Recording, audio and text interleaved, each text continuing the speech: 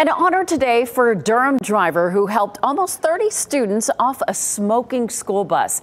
Last Friday, Deona Washington was taking Brogden Middle School students home when she saw smoke and then flames. WRAL's Monica Casey is at the school now live. Monica, they are calling her a hero.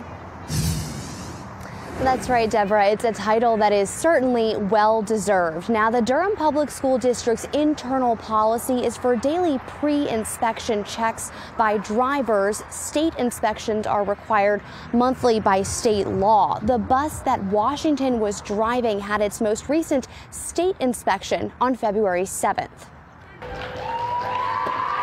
cheering students, smiles, and flowers. A different exit out of a Durham school bus from last week for driver Deona Washington. Got a school bus fully involved on the roadway. Washington helped her 28 Brogden Middle School students evacuate last Friday when they saw smoke. As soon as they were off and accounted for, she saw flames. And my first initial thought was like, let's move because this is diesel. So we got to move from it, get away from it. Washington credits her relationship with the students, interacting every day for the seamless exit.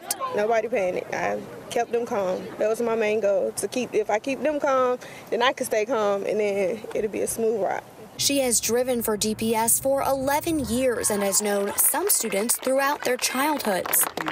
Principal Anthony White calls her a hero with a new Brogden Hero t shirt to match. Washington tells me she does this job for the love of kids. Some kids are fortunate their parents have cars, but all kids don't.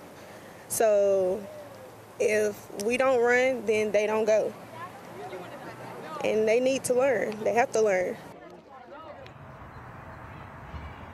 DPS says they are still working with the vendor, manufacturers, and state and government partners on the investigation into how this happened. I did reach out to the Durham Fire Department today. All they can say right now is that it appears the fire began in the engine compartment. Those Deborah? Pretty special hugs we saw there. Monica Casey live in Durham. Thank